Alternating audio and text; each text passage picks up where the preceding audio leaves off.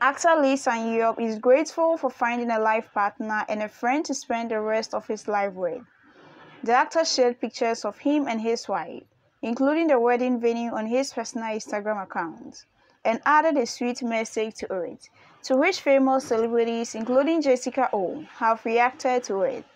Lee Sang-yeob wrote under his wedding pictures, I met a great friend that I want to spend the rest of my life with. Every moment that has left, I will love and be happy with no regrets. Adding that, they will be with new discussion and also thank all his fans, friends and families for always supporting him. Lee Sang-yeob's co-star from the TV show Jessica O, popularly known as Jessie, reacted to Lee Sang-yeob's message by writing in the comments, Have a beautiful married life, brother, with four red heart emojis, and added congratulations, brother. Soompi, popular Korean media platform, also reacted to the message by simply writing, Congratulations in the comments. Lee Sang-yeob's marriage announcement came since last year, and he has finally tied a knot with his beautiful wife.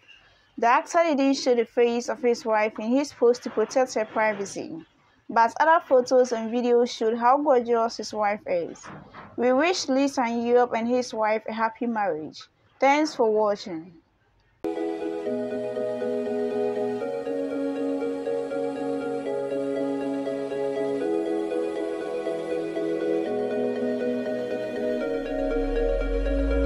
Bye.